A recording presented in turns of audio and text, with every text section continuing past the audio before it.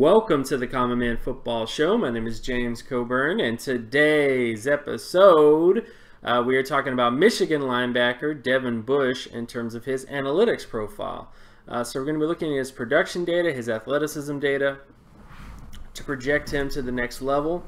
Um, if you're new to the channel and new to the work that I do, all terms and definitions will be in the description. And with all that stuff out of the way, let's get to his production data. So first off, uh, he had a 77.82 solo tackle market share score. Uh, it doesn't quite hit the All-Pro threshold, but it does hit at least above the Pro Bowl threshold at the position. Uh, and when you look at the averages of the position, he's closer to the starter averages than the Pro Bowl or All-Pro averages.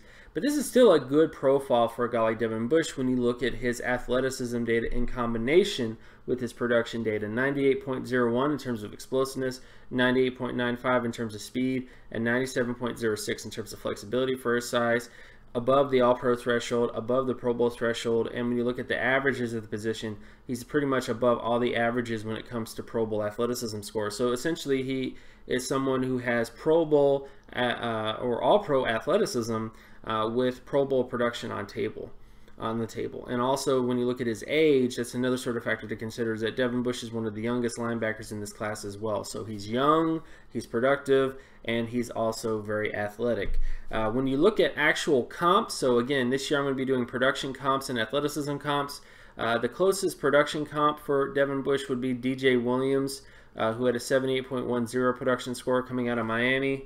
Uh, and I think also stylistically, there are also some similarities between the two. You know, DJ Williams is kind of a, a stout, extremely athletic linebacker when he was at Miami. And of course, you can look at athleticism comparisons. I definitely would say Mychal Kendricks is the closest to Devin Bush when it comes to athleticism. Uh, again, uh, production comps and athleticism comps should not be seen as, well, he's this productive, so he's going to be the next thing over here, because again, every player has individual aspects of them that are different from everyone else. But it's just to show that, hey, he's this productive, he's this athletic, and here are some similar players who had that type of athleticism or had that type of production to go with their overall data. Obviously, film is different from Mychal Kendricks. Film is different from DJ Williams. Uh, but these are just sort of the players who, on paper, data-wise, they have similarities.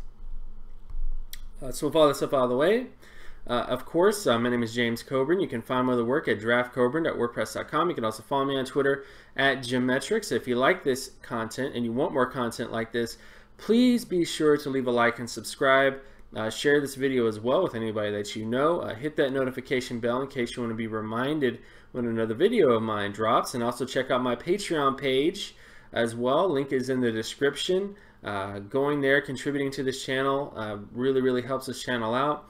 Uh, Patreon subscribers as well get priority when it comes to video requests, and they also get bonus content uh, whenever I see some extra stuff that I really can't get onto the channel, but I want to give out to people. I usually put that on my Patreon as well for my Patreon subscribers to see. So um, being a Patreon subscriber is great. If you love the videos that I put out, if you love all the content that I provide to you guys, why aren't you a Patreon subscriber yet? That's all I have to say. Uh, so with all that stuff out of the way, uh, thank you so much for listening to this video, and I will talk to you guys in the next episode. Peace.